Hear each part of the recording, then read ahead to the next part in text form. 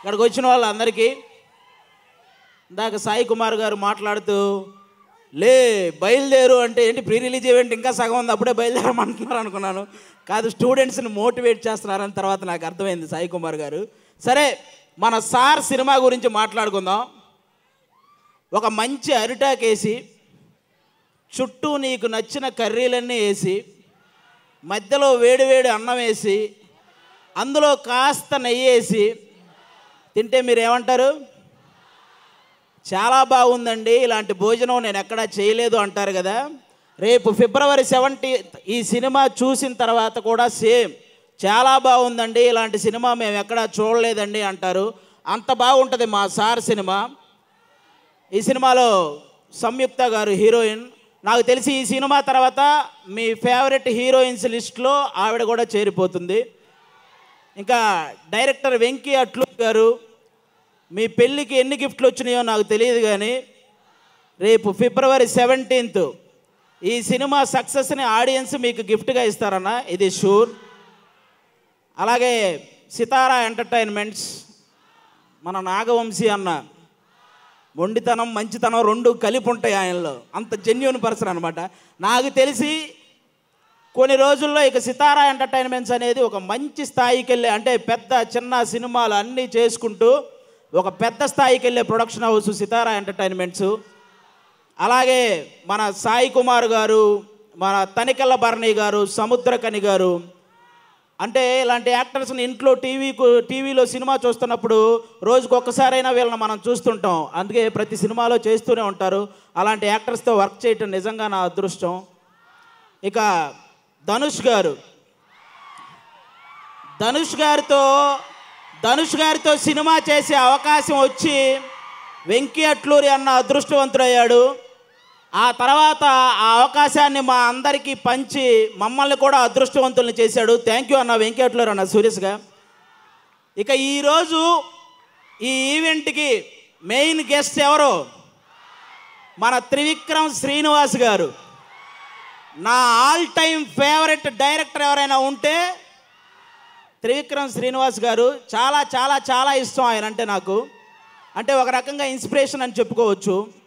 అంటే బేసిక్గా ఒక డైరెక్టర్ ఆయన చేసే సినిమాలో ఒక సీన్ పదే పదే చూసేలా చేయొచ్చు. ఒక సాంగ్ పదే పదే చూసేలా చేయొచ్చు. ఒక ఫైట్ పదే పదే చూసేలా చేయొచ్చు. కానీ ఒక స్టేజ్ మీద ఇచ్చే స్పీచ్ కూడా పదే పదే చూసేలా చేయగల సత్తా ఉన్న ఏకైక డైరెక్టర్ త్రివిక్రమ్ శ్రీనివాస్ గారు. నాకు మీరు శ్రీవెన్నెల సీతారామశాస్త్రి గారి గురించి మాట్లాడిన ఆ స్పీచ్ చరిత్రలో ఇంకెవరూ అలాంటి స్పీచ్ ఇవ్వలేరు సార్. అది నేను గట్టిగా నమ్ముతాను. ఒక డైరెక్టర్కి ఒక హీరోకి ఉన్నంత క్రేజ్ ఉందంటే ఆయన రాసిన మాటల ప్రభావం అలాంటిది ఆ మాటల ప్రవాహం అలాంటిది. బేసిక్గా మాటలకి మనిషి రూపం వస్తే అది మాట్లాడే మొదటి మాట థ్యాంక్ యూ త్రివిక్రమ్ గారు అని. ప్రాసకి ఆశ కలిగి ఎవరినైనా చూడాలి అనుకుంటే అది చూసే మొదటి ఫేసు త్రివిక్రమ్ గారు. ఆయన ఒక సినిమా చేస్తున్నప్పుడు ఆ సినిమా చేసే విలువ కంటే ఆ సినిమాలో ఆయన రాసే విలువలకి చాలా ఇంపార్టెన్స్ ఇస్తాడు. అందుకే ప్రతి సినిమాలో ఆ కుటుంబం తాలూకు వాల్యూస్ లేకుండా ఒక్క సినిమా కూడా ఆయన తీయడు.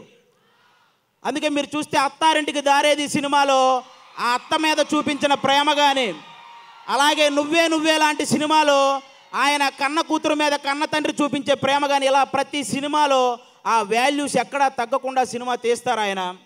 నాకు తెలిసి ఒక వైట్ పేపర్కి కరెక్ట్గా న్యాయం చేయగలిగే ఏకైక రైటర్ త్రివిక్రమ్ గారు.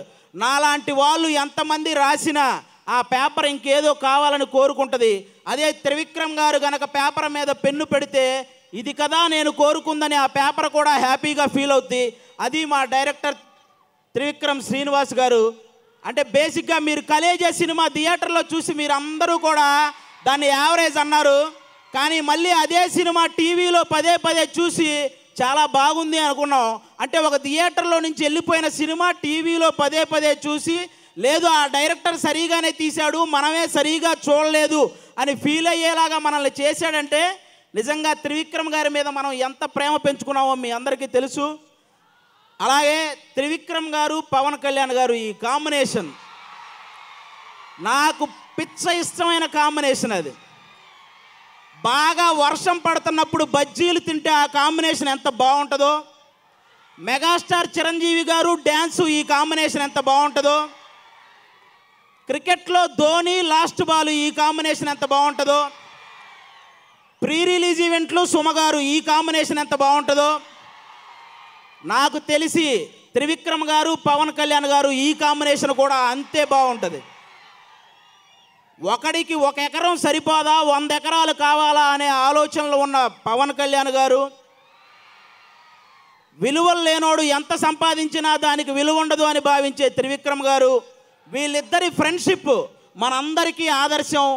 అంటే మెడ మీద చెయ్యి పెట్టిన ప్రతి ఓడు పవన్ కళ్యాణ్ గారిలా ఫీల్ అవ్వడం పేపర్ మీద పెన్ను పెట్టిన ప్రతి ఒక్కడు త్రివిక్రమ్ గారిలా ఫీల్ అవ్వటం కామన్. ఎందుకంటే వాళ్ళంటే మనకు అంత పిచ్చి కాబట్టి.